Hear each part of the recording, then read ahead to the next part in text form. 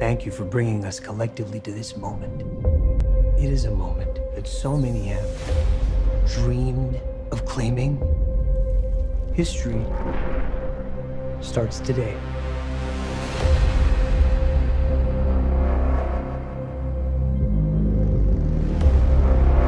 The guy you work for is an evil person. I don't work for him. My firm works for him. Are you gonna behave yourself tomorrow? I told you I'm gonna do my job.